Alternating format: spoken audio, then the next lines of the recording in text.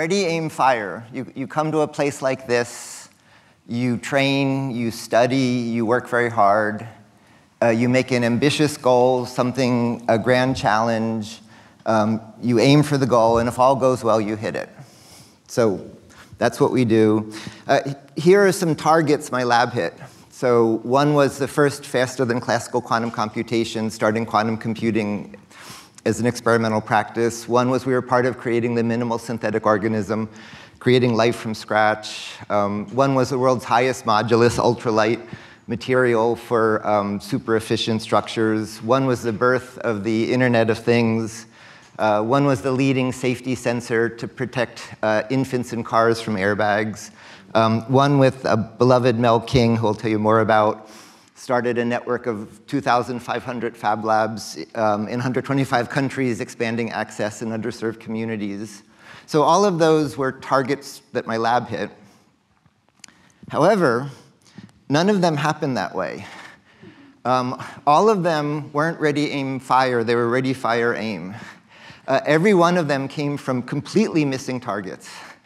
Um, and so what I want to talk about is the difference between ready, aim, fire, which is how research is taught and funded, and the reality of ready, fire, aim. And I want to take you a tour of how each of these happened to then look ahead to how more people might have the opportunity to fail.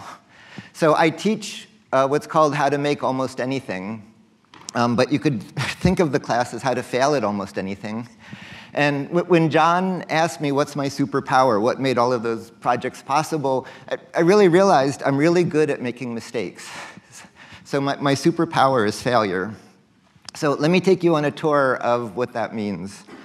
Uh, upper left was, we had, a vision, we had an idea that we were going to make a fluidic ribosome. Ribosomes create you, they're the assembler that makes you. Why can't we make a ribosome that makes um, all of an, anything for anyone? So create biology for non-biological systems. That was the idea. Turns out to be a terrible idea. It was completely doomed. We tried to make it. It never worked. There were stupid bubbles in the fluidics that blocked all these little particles, and it never, ever worked. Until one day, Manu said, well, let's make the bubbles the project. So um, we invented microfluidic bubble logic to, the, these bug bubbles we realized could compute, and then we realized you could use that to do genome transplantation to get a genome to create uh, synthetic organisms. So that came from the failure of trying to make a fluidic ribosome. Uh, the next one, we were doing a really short-term project with companies. This was at the birth of what became RFID to make tags that would let you read materials, to read objects. And you couldn't read more than one at a time. And so we had an idea, well, could you have nonlinearity in the materials so you could talk to one material? So I went for a hunt on nonlinearity in materials and thought, well, what about spin resonance, where two spins talk to each other? And we would make that into tags. And so we started doing that. And I didn't realize that the numbers were hopeless. It had no chance of working. There's no way you could get the signals. But we then realized this doomed project was doing a quantum computation.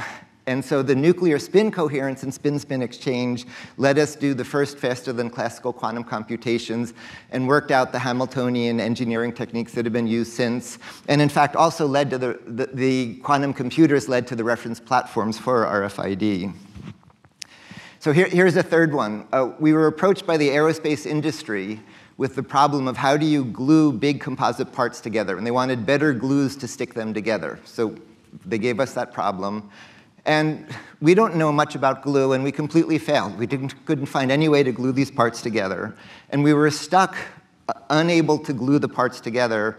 And so we decided, well, why don't we give up and have no glue, and instead just snap little parts together. And so, um, in fact, earlier you saw a beautiful picture in architected materials.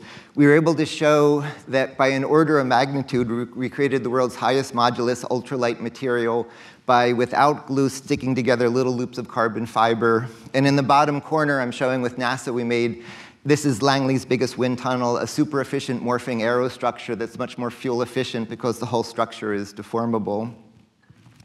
Uh, this was a funny one. With uh, Tod Machover, I helped develop a cello for Yo-Yo Ma, and he's very unsentimental about the Stradivarius. It's just a, a, conversion device, and he was interested, he knew the sonic palette, but he wanted a broader sonic palette. So I brought all a bunch of skills from the lab and instrumented the cello, and unfortunately his hand kept getting in the way. We kept getting artifacts from his hand in the fields we were using to sense, and I had to do a contortion to try to get around that. Until I realized, and it actually in a very funny way went through my first student thesis doing tomography with hands, and then with Tod and Joe Paradiso and Penn and Teller, a magic trick in Las Vegas. And then the auto industry came running in and said, uh, airbags were killing infants in rear-facing child seats. Could we turn the cello turned magic trick into an auto safety sensor? And it became a $100 million a year business uh, protecting you in the car, all from Yo-Yo's hand getting in the way. Um, uh, th this one was, I, I, had an idea to connect the di digital and physical world for all the reasons to do that, of taking the principles of the internet into device physics. So the internet a core concept is in, um, an end-to-end principle of internetworking, and I thought, let's do internetworking in the physics. And so I'm going to have a signaling in the physics level to internetwork. So that was my great idea. It turns out it was just a terrible idea. The, the numbers don't work. It was very noisy. It, was, it wasn't robust at all. It, it didn't survive um, out in the wild. But through that, I got to know the founders of the internet. Um, and this is a paper with no longer living but beloved Danny Cohen um, and then this was an event with all the rest of them. And they said my project was really stupid, but the way we were implementing the internet was really interesting, and so get rid of the dumb project. And this is one of the first things written about the concept of what became um, the Internet of Things. And this one was, there was a project with MIT and India's government at a high level on both sides to create a big lab in India that was a disaster.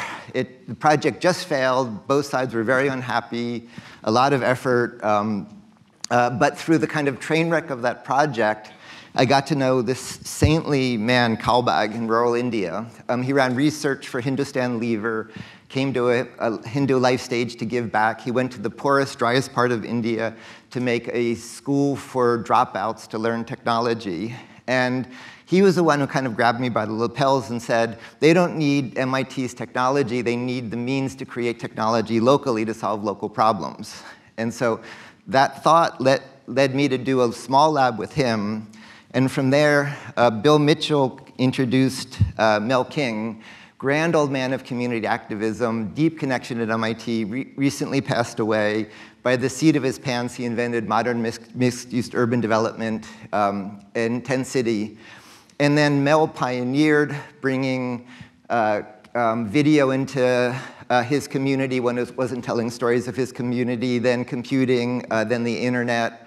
And so it was a natural step to go from having technology in South End Technology Center to creating technology in South End Technology Center. So with Mel, we did the first Fab Lab that came out of the kind of train wreck of this project in India. And now there's 2,500 of those in 125 countries. They're doubling every year and a half. You know, it might be the biggest international program to come out of MIT that really came out of the failure of this project and running into Kalbag. So stepping back, I hope you get a sense from those examples. Each is completely different, but they're sort of all the same. They all involve the same sort of sequence. Um, I'd say this is the second most important thing written from MIT. The most important thing I'd say written from MIT is Claude Shannon's master's thesis, the best thesis ever. I recommend reading it.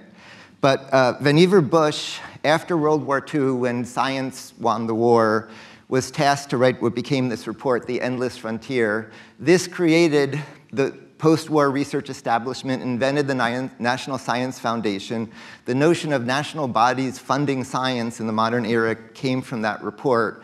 Just enormously influential, but I'd say it had a fundamental mistake that we've been struggling with ever since. He enshrined the notion of basic research leads to applied research, leads to applications. And that's embodied in technical readiness levels, where uh, projects go from the bottom to the top of that. And it should be clear now from all the examples I gave you, every one of those projects went exactly backwards. It went upstream. We started from a very sort of straightforward practical thing we were tripping over, and the practical thing turned into the basic research. So we're left with today to do science, to learn about it, to practice it. You're taught about milestones and deliverables. Milestones only make sense if you're going down a road and you want to know how far you are down the road. Ready, aim, fire only hits what you aim at. To have surprise, you need to miss. And so we're doing random walks. We're doing biased random walks. And so fail fast is a familiar concept, but what's often missed is ready. You don't just get to fail. Ready is you have to do your homework. Fire, then you sort of close your eyes and sort of do anything in any direction, and you don't think much about what you're going to do. Then the key part is aim after you fire and you figure out what you did do. And in every one of those projects, there was a lot of homework. There wasn't much thought to what we're going to do, and then there was a lot of thought to what we did do. So I've had the freedom, the opportunity to, to fail often and not have repercussions.